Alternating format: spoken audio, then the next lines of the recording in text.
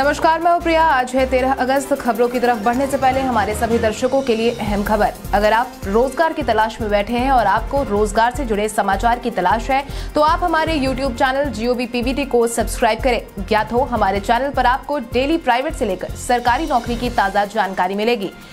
हमारे चैनल को सब्सक्राइब ज़रूर करें। अब चले बढ़ते हैं सुर्खियों की ओर। बिहार में 11 शहरों के दो सौ छिहत्तर केंद्रों पर आज होगी बीएड और सीईटी की परीक्षा। खतरे के निशान से ऊपर आई गंगा। हुई एनडीआरएफ की तैनाती। बिहार के दो आईएएस और 10 प्रशासनिक सेवा के अधिकारियों का हुआ तबादला। 15 अगस्त तक बिहार के सभी जिलों के लिए जारी हुआ अलर्ट। सुशांत सिंह राजपूत के दोस्त सिद्धार्थ पिठानी की जमानत अर्जी हुई खारिज। अब चले बढ़ते हैं बिहार की 25 बड़ी खबरों की ओर विस्तार से। महिला एवं बाल विकास निगम, समाज कल्याण विभाग, पटना बिहार ने निकाली रिक्तियाँ।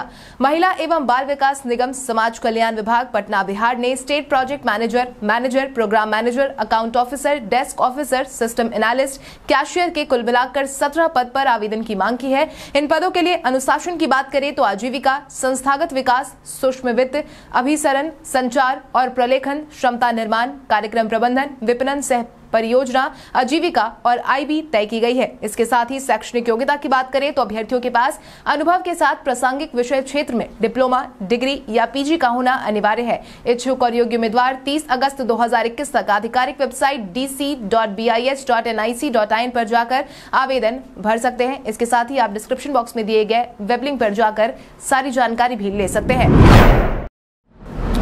राखी के दिन बिहार की बहनों को बिहार सरकार ने दी बड़ी सौगात। राखी का त्योहार 22 अगस्त को मनाया जाना है। हालाँकि राखी के पावन अवसर आने में अभी समय है, लेकिन बिहार सरकार ने बिहार की बहनों के लिए अभी से ही एक अहम घोषणा की है, जिसके तहत बिहार राज्य पथ परिवहन निगम की सिटी सुबस की बसों में महिला मुफ़्त में यात्रा कर सकेंगी। राखी के दिन सिटी बस में कितनी भी दूर तक सफ़र करने के लिए उन्हें किसी तरह का किराया नहीं देना होगा। वही दूसरी तरफ़ बहन भाइयों के लिए राखी के त्योहार को खास बनाने के लिए डाक विभाग भी तत्पर है। यही कारण है कि दूसरे राज्य या देश में रहने वाले भाई बहनों की राखी समय पर पहुँचे, इसकी ज़िम्मेदारी विभाग ने उठा ली है। जजों की नियुक्ति के लिए पटना हाईकोर्ट कॉलेजियम ने इन नामों की की सिफारिश। पटना हाईकोर्ट के जजों की नियुक्ति के लिए नामों की सिफारिश की गई है, जिसके तहत chief justice Sanjay Karol, justice Ashwini Kumar Singh और जस्टिस विकास जैन की कॉलेजियम ने जजों की नियुक्ति के लिए 20 नामों को पेश किया है, जिसमें वकील कोटे से आठ नामों को और न्यायिक सेवा कोटे से बारह नामों को शामिल किया गया है। आपकी जानकारी के लिए आपको बता दें कि पटना हाईकोर्ट में जजों की स्वीकृत संख्या तिरपन है, जबकि अभी चीफ जस्टिस समेत उन्नीस जज ही कार्यरत है। इसमें जल्द कुछ जज सेवानिवृत्त होने वाले हैं। अभी पटना हाईकोर्ट में जजों की कुल स्वीकृत पदों की एक तिहाई जज भी कार्यरत है। खतरे के निशान से ऊपर हुई गंगा, हुई एनडीआरएफ की तैनाती। बिहार के कई ज़िले बाढ़ की चपेट में आ गए हैं। वहीं अब तो बाढ़ का खतरा बिहार की राजधानी पटना पर भी मंडराने लगा है। इसका अंदाज़ा आप इसी बात से लगा सकते हैं कि गंगा नदी में आए उफान से दानापुर दियारे की छह पंचायतों के दर्जनों गाँव में बाढ़ का पानी घुस गया है।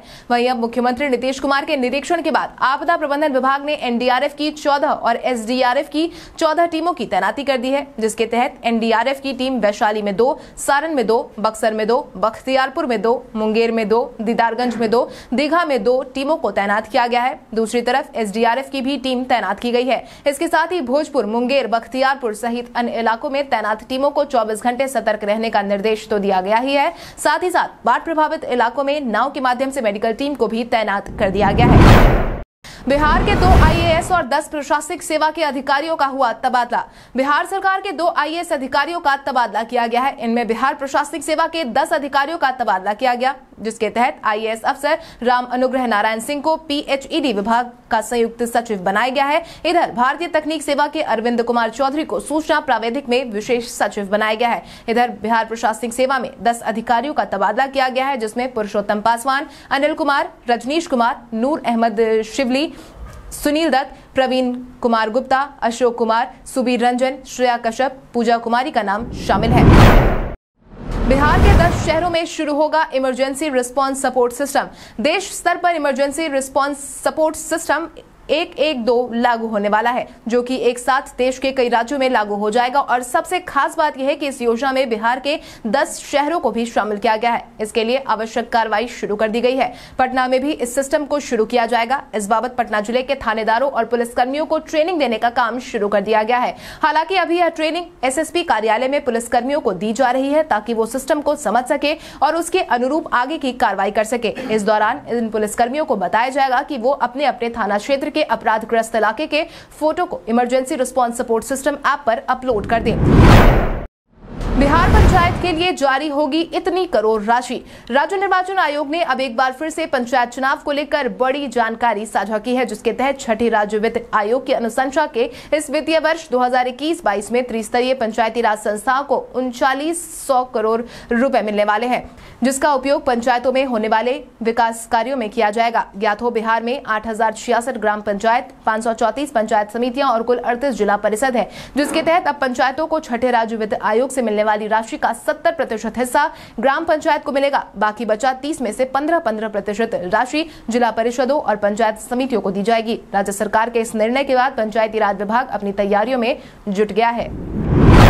मछली पालन को बढ़ावा देने के लिए, अब उड़ाही के लिए भी सरकार देगी सब्सिडी। बिहार सरकार बिहार में मछली पालन को बढ़ावा देने का काम कर रही है। यही कारण है कि बिहार सरकार मछली पालन के माध्यम से स्वरोजगार के अवसर को बढ़ावा देने, सामाजिक उत्थान के लिए तालाब के विकास और जीर्णोद्धार योजना के तहत ग्यारह करोड़ रूपए से अधिक राशि खर्च करने वाली है, जिसके तहत ही अब सरकार तालाबों की उड़ाही और मत्स्य बीज हेचरी के निर्माण पर मछुआरों एवं मत्स्य पालकों को पचास फ़ीसदी सब्सिडी देने जा रही है। सरकारी जानकारों की माने तो कोविड के प्रभाव को कम करने के लिए राज्य की स्कीम का मुख्य उद्देश्य मत्स्य उत्पादकता एवं उत्पादन में वृद्धि कर लोगों को रोज़गार के अवसर मुहैया करवाना है। वहीं इस बाबत पशु एवं मत्स्य संसाधन विभाग के मंत्री मुकेश सहनी ने पदाधिकारियों को क्षेत्र में जाकर मत्स्य कृषक एवं मछुआरों से संवाद करने के निर्देश भी दिए हैं। आज मनाई जाएगी सावन की नाग पंचमी। सावन महीना हिंदू धर्म में विशेष महत्व रखता है, क्योंकि इस महीने में हिंदू धर्म से जुड़े कई पर्व त्योहार आते हैं। उन्हीं में से एक है नाग पंचमी, जो कि आज मनाई जाएगी। आज के दिन नाग देवता की पूजा पूरे विधि विधान से की जाती है। पौराणिक काल के अनुसार सर्पों को देवता के रूप में पूजा जाता है। नाग पंचमी की पूजा से जीवन में काल सर्प दोष से छुटकारा मिलता है। इस बार बारह अगस्त दो से गुरुवार दोपहर तीन बजकर चौबीस मिनट से यह शुरू हो गया था, जो की तेरह अगस्त, यानी आज दोपहर एक बजकर बयालीस मिनट तक जारी रहेगा।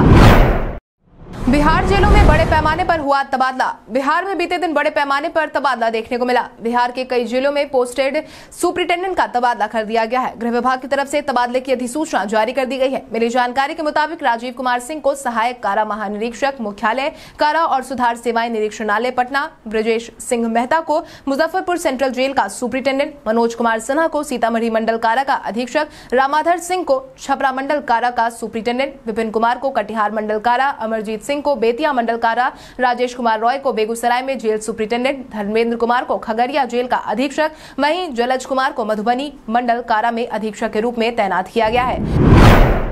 आज बिहारी पहचान में हम बात करेंगे आर्यभट्ट की। आर्यभट्ट प्राचीन भारत के महान ज्योतिष विद और गणितज्ञ थे। उनका जन्म स्थान बिहार की राजधानी पटना में ही है। चार सौ छिहत्तर ईसा पूर्व में पटना कुसुमपुर के नाम से जाना जाता था और वो आर्यभट्ट ही थे जिन्होंने शून्य की खोज की थी। आर्यभट्ट ही है जिनके कारण आज संपूर्ण दुनिया गणित विषय को जान पाई है। इतना ही नहीं, उन्होंने आर्यभट्टीय नामक महत्वपूर्ण ज्योतिष ग्रंथ लिखा, जिसमें वर्गमूल, घनमूल, समानांतर श्रेणी और विभिन्न प्रकार के समीकरणों का वर्णन है। यह ग्रंथ संस्कृत में लिखी गई है। इसके साथ ही आर्यभट्ट का खगोल विज्ञान में भी बहुत बड़ा योगदान रहा है। आर्यभट्ट की खगोल विज्ञान प्रणाली औद्योगिक प्रणाली कहलाती है। बीपीएससी ने जारी की परीक्षाओं की तारीख। बिहार लोक सेवा आयोग ने विभिन्न परीक्षाओं की तारीख की घोषणा कर दी है, जिसके तहत मोटरयान निरीक्षक की लिखित प्रतियोगिता परीक्षा, सहायक प्राध्यापक असैनिक अभियंत्रण, सहायक अध्यापक कंप्यूटर साइंस एंड इंजीनियरिंग, सहायक प्राध्यापक इलेक्ट्रिकल एंड इलेक्ट्रॉनिक्स अभियंत्रण, बाल विकास परियोजना पदाधिकारी प्रतियोगिता परीक्षा एवं सड़सठवीं संयुक्त प्रतियोगिता परीक्षा की तारीख एक साथ जारी की गई है। बीपीएससी की तरफ़ से साझा की गई जानकारी के अनुसार यह परीक्षाएँ सत्रह सितंबर से आयोजित होकर विभिन्न तारीखों में 12 दिसंबर तक संचालित होंगी। कोरोना के कारण परीक्षा के आयोजन में देरी हुई है। सैनिकों के नाम अब चिट्ठी और राखी भेज सकेंगी बहनें। राखी का त्यौहार जल्द ही आने वाला है। हालाँकि राखी के इस मौके पर जहाँ एक तरफ़ भाई बहन इस त्यौहार को धूमधाम से मनाएँगे, ऐसे में नवादा डाक विभाग की पहल से सरहद पर तैनात सैनिक को भी राखी भेजी जाएगी। इसको लेकर नवादा ज़िले में डाक विभाग द्वारा विशेष अभियान चलाया जा रहा है, जिसके तहत सेना के जवानों की कलाई सुनी न रहे। इसके लिए विभाग ने जिला सहित देशवासियों से अपील की है कि घर घर से जवानों के लिए राखी के साथ संदेश भेजे, जिससे उनका आत्मबल बना रहे, प्रोत्साहन मिले और वो भी देश सेवा में लगे हुए त्योहार को मना सके। इसके लिए डाक विभाग ने पंद्रह रूपए दर तय की है, यानी कि अब मात्र पंद्रह रूपए में सरहद पर तैनात जवानों को राखी भेजी जा सकती है। बिहार में कोविड 19 के मिले 50 से कम मामले। स्वास्थ्य विभाग की तरफ़ से मिली जानकारी के अनुसार बिहार में बीते दिन के पिछले 24 घंटे में कुल मिलाकर 43 मामलों की पुष्टि हुई है, जिसके बाद बिहार में एक्टिव मरीजों की संख्या दो सौ बहत्तर पर पहुँच गई है इसके साथ ही अगर हम प्रभावित जिलों की बात करें तो अररिया में दो औरंगाबाद में एक बांका में एक बेगूसराय में एक भागलपुर में एक भोजपुर में एक दरभंगा में एक जमुई में एक जहानाबाद में एक कटिहार में पाँच खगड़िया में एक किशनगंज में एक लखीसराय में एक मधेपुरा में दो मधुबनी में छः पटना में चार पूर्णिया में चार रोहतास में एक सहरसा में एक समस्तीपुर में तीन सीतामढ़ी में तीन सिवान में एक मामले की पुष्टि हुई है इसके साथ ही Arwal Buxar east east Champaran Gaya, Gopalganj, Kaimur, Munger, Muzaffarpur, Nalanda, Nawada, Saran, Sheikhpura, Sheohar, Supaul, Vaishali, west Champaran में एक भी मामले की पुष्टि नहीं हुई है। इसके साथ ही बीते दिन के पिछले 24 घंटे में कुल मिलाकर एक लाख इक्यावन हज़ार चार सौ बयासी सैंपल की जाँच की गई है। वहीं सैंतालीस मरीज़ ठीक होकर घर वापस लौटे हैं। पंद्रह अगस्त तक बिहार के सभी जिलों के लिए जारी हुआ अलर्ट। बिहार में मौसम का मिजाज बदला बदला नज़र आ रहा है। वहीं मौसम वैज्ञानिकों की माने तो राज्य के सभी अड़तीस जिलों में बारिश को लेकर अलर्ट जारी कर दिया गया है। वहीं बिहार के कई जिलों में अगले बहत्तर घंटे के लिए मौसम विभाग ने बारिश और वज्रपात को लेकर फिर से चेतावनी जारी की है। मौसम वैज्ञानिकों ने नेपाल की तराई से सटे क्षेत्रों में भारी बारिश की चेतावनी जारी की है। ज्ञात हो, मौसम विभाग ने जिन जिलों के लिए भारी बारिश की चेतावनी जारी की है, उसमें किशनगंज, अररिया, मधुबनी, सीतामढ़ी, सुपौल के साथ पूर्वी और पश्चिमी चंपारण ज़िले शामिल है। बिहार में मानसून की ट्रफ रेखा अमृतसर, देहरादून, बरेली, गोरखपुर से पटना होते हुए अरुणाचल प्रदेश की तरफ़ जारी है। इसके साथ ही एक चक्रवाती परिसंचरण भी बिहार और पूर्वी उत्तर प्रदेश के आसपास फैला हुआ है, जिसकी वजह से ही बारिश को लेकर अलर्ट जारी किया गया है। घर बैठे बैठे ले सकते हैं बिजली कनेक्शन। बिहार में अब कहीं से भी आसानी से बिजली कनेक्शन लिया जा सकता है। इसको लेकर हाल ही में ऊर्जा विभाग ने सारी जानकारी साझा कर दी है। इस बाबत विभाग ने बताया कि उत्तर बिहार पावर डिस्ट्रीब्यूशन और दक्षिण बिहार पावर डिस्ट्रीब्यूशन के तहत आने वाली सभी उपभोक्ता अब मोबाइल की मदद से ही बिजली कनेक्शन की सुविधा ले सकते हैं। ऊर्जा विभाग की तरफ़ से मिली जानकारी के अनुसार इसके लिए सुविधा नामक ऐप लॉन्च किया गया है। इस ऐप से कनेक्शन लेने के साथ ही लोग अपना बिजली बिल आसानी से भर सकते हैं। आपकी जानकारी के लिए आपको बता दें, इस सेवा को उपलब्ध करवाने से पहले बिहार में पहले बिजली कनेक्शन के लिए अंचल और अनुमंडल बिजली कार्यालय जाना होता था। पंचायती राज विभाग ने ग्रामीण पेयजल निश्चय योजना के तहत शिकायत के लिए जारी किया नंबर। पंचायती राज विभाग ने हाल ही में अपने अंतर्गत क्रियान्वित मुख्यमंत्री ग्रामीण पेयजल निश्चय योजना के काम को हर पंचायत में पूरा करने का आदेश जारी किया था। हालाँकि अभी भी कई पंचायतों से यह शिकायत आई है कि कतिपय बसावट, टोलों और घरों को जल संयोजन नहीं किया जा रहा है। ऐसे में कुछ घर अभी भी पेयजल आपूर्ति योजना से वंचित रह गए हैं। ऐसे में लाभुकों द्वारा पेयजल योजना से संबंधित किसी भी प्रकार की शिकायत के लिए टोल फ्री नंबर विभाग ने जारी कर दिया है, जिसके तहत आप एक आठ शून्य शून्य, एक दो तीन एक एक दो एक पर कॉल करके शिकायत दर्ज करवा सकते हैं।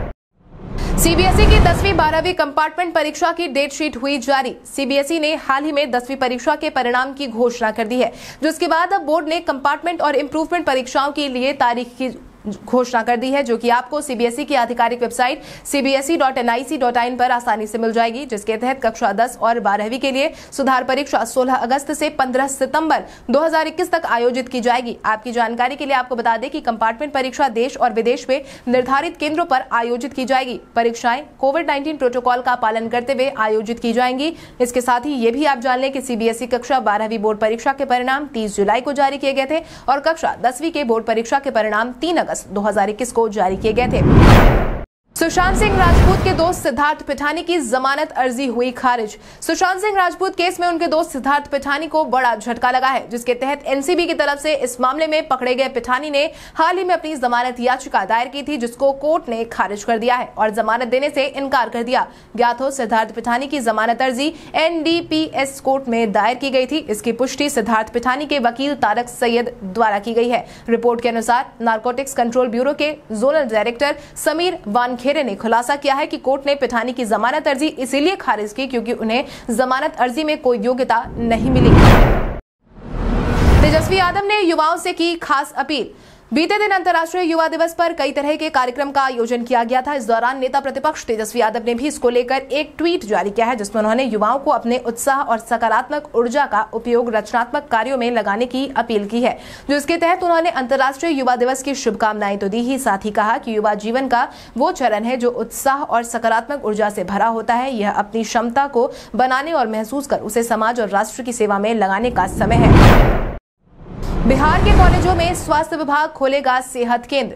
ग्रामीण इलाकों में स्वास्थ्य सेवाओं को विस्तार करने की योजना के साथ काम शुरू हो चुका है, जिसके तहत स्वास्थ्य विभाग कॉलेज जाने वाले युवाओं को भी बेहतर स्वास्थ्य जीवन के गुर बताएगा। विभाग की यही योजना है कि ग्रामीण इलाकों में विस्तार करने के लिए सेहत केंद्र खोला जाए। इसकी तैयारी शुरू कर दी गई है, जिसके तहत सेहत केंद्र में स्वास्थ्य विभाग सलाहकार की प्रतिनियुक्ति होगी। साथ ही एचआईवी समेत अन्य बीमारियों के बचाव के गुण बताए जाएँगे। इसके अलावा मोबाइल एप्लीकेशन के उपयोग की जानकारी दी जाएगी। स्वास्थ्य विभाग की यही कोशिश है कि ग्रामीण इलाकों में स्वास्थ्य के प्रति होने वाली चिंता से हर नागरिक को मुक्त किया जाए। इस बाबत कॉलेज में सेहत केंद्र बनाने का प्रस्ताव राज्य एड्स कंट्रोल सोसाइटी की तरफ़ से भेज दिया गया है। बिहार में 11 शहरों के दो केंद्रों पर आज होगी बीएड और सीईटी की परीक्षा।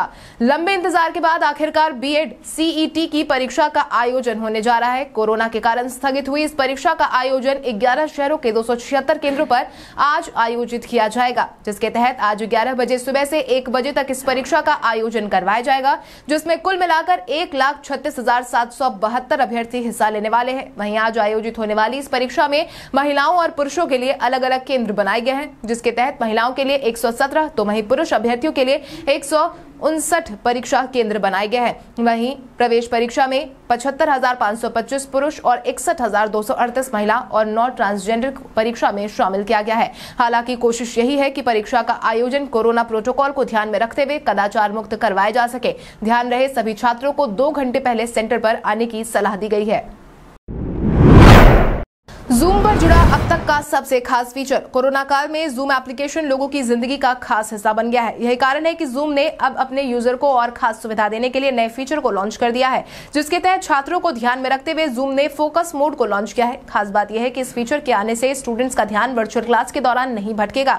वही दूसरी तरफ़ शिक्षक भी छात्रों की स्क्रीन को आसानी से देख सकेंगे। इसके साथ ही उन्हें भी फोकस मोड का कंट्रोल मिलेगा। कंपनी का मानना है कि यह फीचर छात्रों और शिक्षकों के बहुत काम आएगा। ज्ञात हो फोकस मोड के एक्टिवेट होने के बाद वर्चुअल क्लास के दौरान स्टूडेंट्स अपने साथियों को नहीं देख पाएँगे। भारत के इतिहास में आज की तारीख कई कारणों से है दर्ज। भारत के प्रशासनिक सुधारों के लिए पिट्स इंडिया विधेयक ब्रिटिश संसद में सत्रह सौ चौरासी को पेश हुआ था। भारत में निर्मित पहले विमान हिंदुस्तान ट्रेनर दो ने पहली उड़ान उन्नीस में भरी थी। राष्ट्रीय राजमार्ग लोकसभा में उन्नीस सौ छप्पन को विधेयक आज के दिन पारित हुआ था। भारत ने 2008 में मल्टी बैरल रॉकेट लॉन्वर एम विपिन सिस्टम पिनाक का सफल परीक्षण आज के दिन किया था। प्रसिद्ध अर्थशास्त्री और रिज़र्व बैंक के पूर्व गवर्नर चक्रवर्ती संगराजन को 2008 में राज्यसभा के लिए नामित आज के दिन किया गया था। भारतीय अभिनेत्री श्रीदेवी का जन्म उन्नीस में आज के दिन हुआ था। भारतीय सिनेमा की प्रसिद्ध अभिनेत्री वैजयंती माला का जन्म तेरह अगस्त उन्नीस सौ छत्तीस को आज के दिन हुआ था। प्रसिद्ध भारतीय महिला क्रांतिकारी भीकाजी कामा का निधन उन्नीस सौ छत्तीस को आज के दिन हुआ था। भारत की वीरांगाना अहिल्याबाई होलकर का निधन सत्रह सौ पंचानवे को आज के दिन हुआ था। अब आइए जानते हैं सराफा बाज़ार और पेट्रोल डीजल के क्या थे भाव। अगर हम सराफा बाज़ार की बात करें तो सोने का भाव 12 अगस्त को 22 कैरेट के लिए प्रति दस ग्राम चौवालीस रुपए था। इसके साथ ही 24 कैरेट के लिए प्रति दस ग्राम सैतालीस रुपए था। इसके साथ ही अगर हम चांदी की बात करें तो चांदी का भाव प्रति किलो बासठ रुपए था। इसके साथ ही राजधानी पटना में पेट्रोल की कीमत एक रुपए प्रति लीटर और डीजल के दाम पंचानवे रुपए प्रति लीटर थे। कल हमारे द्वारा पूछे गए सवाल का जवाब आप में से बहुत सारे यूज़र ने हमें कमेंट करके दिया था। उसके लिए आपका बहुत बहुत धन्यवाद। आप में से जिन यूज़र का कमेंट हमें अच्छा लगा है, उनके नाम है रंजीत मेहता, ललन केशरी रवि कुमार, बंटी कुमार, मिथिलेश यादव, नीतीश कुमार, अमरजीत अकेला, टुनटुन यादव, इंदिरा मिश्रा शंकर मुखिया, मनीषा कुमारी, रोशन कुमार, रानी गुप्ता, रईस इमरान, राजीव भाई, अजीत भाई ए के सिंह, अमन कुमार, ओमकार सिंह। इसके अलावा हमारी टीम को और भी लोगों के जवाब अच्छे लगे हैं, मगर समय के अभाव के कारण हम उनका नाम नहीं ले पाए, लेकिन आप हमारे सवालों का जवाब देते रहे। हम कल आपका नाम लेने की पूरी कोशिश करेंगे। तो चलिए बढ़ते हैं आज के सवाल की ओर। आज का सवाल कुछ इस प्रकार है। आपके अनुसार बिहार सरकार का घर घर स्मार्ट प्रीपेड मीटर लगाने का फैसला सही है या नहीं? अपने जवाब हमें कमेंट करके ज़रूर बताएँ। इसके साथ ही आज के लिए बस इतना ही। बिहार की बड़ी खबरों से अपडेटेड रहने के लिए हमारे यूट्यूब चैनल को सब्सक्राइब करें और बेलाइकॉन दबाना ना भूलें। धन्यवाद।